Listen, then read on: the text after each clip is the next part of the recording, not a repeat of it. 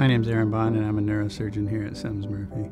I specialize in functional neurosurgery, which is the restoration of function to patients with movement disorders like Parkinson's and essential tremor. These are patients that have basically had their tremors get so bad that they can't function anymore, and I can restore their quality of life. Our brains are pretty complicated, and they have circuits inside our brain that uh, control our movements.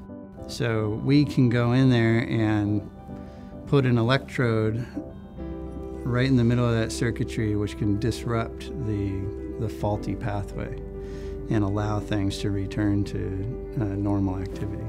So traditional deep brain stimulation was a very long procedure.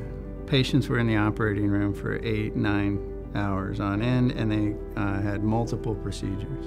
We've modernized the procedure with intraoperative imaging, and we now can do it in a couple of hours, uh, what took all day before. We also have the capabilities now to do some of these patients completely asleep. That was unheard of before, but now with intraoperative MRI technologies, um, especially with some of those really sick Parkinson's patients, uh, it can be a completely asleep procedure and get the same results. Well, Semmes Murphey is, has a very long history of having outstanding neurosurgeons in, in many different fields of, of specialty.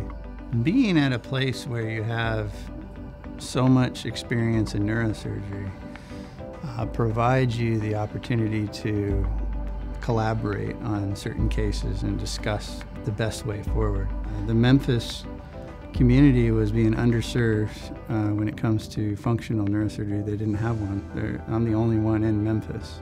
In the past, patients had to travel all the way to Nashville or to Alabama to get treated for these particular diseases.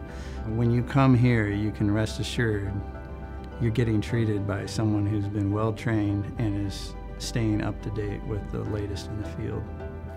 When I'm done treating a patient, I like to say if they haven't cried uh, at the end of the procedure, then something probably went wrong.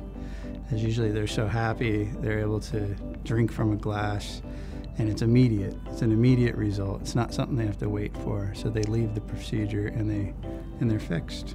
It's incredibly rewarding to be able to help someone live a higher quality of life.